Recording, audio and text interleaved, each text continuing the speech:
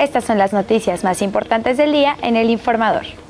De acuerdo al corte del 3 de febrero de 2021, Jalisco registra una baja considerable en la ocupación de hospitales que atienden casos de COVID-19. En cuanto a hospitalización en general, 3 de 53 hospitales COVID reportan el 100% de ocupación de pacientes en hospitalización general, una reducción de 3 respecto al día previo, cuando ya se había mantenido sin cambios. También en camas con respirador y unidades de cuidados intensivos se registra un desahogo de la saturación hospitalaria.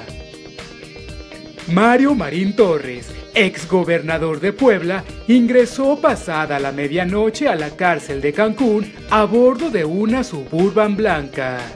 El gober precioso, llamado así por Kamel Nasir, será presentado ante el juzgado segundo de distrito para enfrentar cargos por la autoría intelectual de la tortura en agravio de la periodista Lidia Cacho Ribeiro.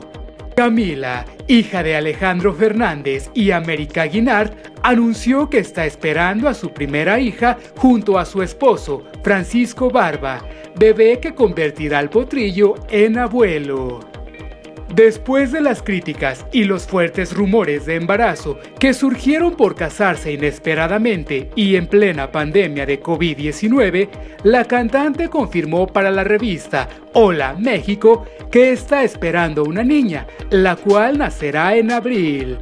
Este jueves, The Weeknd ofreció una rueda de prensa previo a su actuación en el medio tiempo del Super Bowl 2021, donde los Tampa Bay Buccaneers y los Kansas City Chiefs se enfrentarán el próximo 7 de febrero. El cantante adelantó que debido al COVID-19 se construyó un escenario dentro del estadio, por lo que no se parecerá a lo que se ha visto en otras ocasiones. Además, dijo que quiere ser respetuoso con el público en casa, sabiendo que hay muchos niños que estarán mirando el espectáculo, por lo que no será violento o sangriento.